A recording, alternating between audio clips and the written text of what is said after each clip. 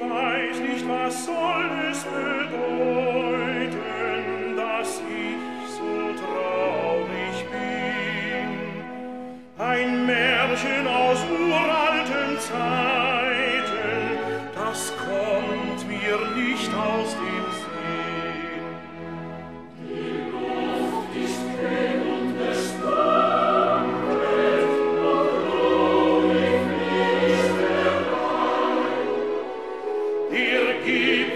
despair.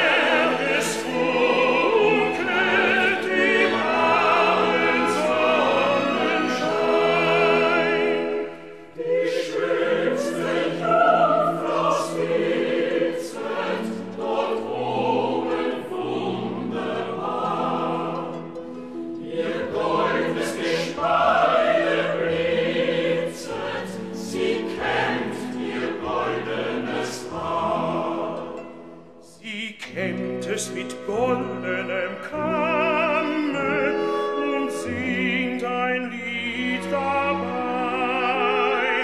Das hat eine wundersame, gewaltige Melodie.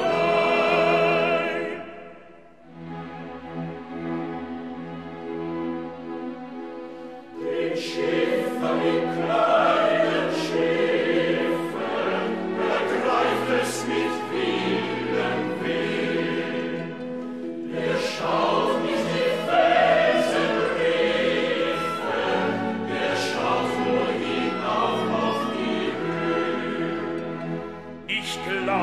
die Wellen verschlingen am Ende noch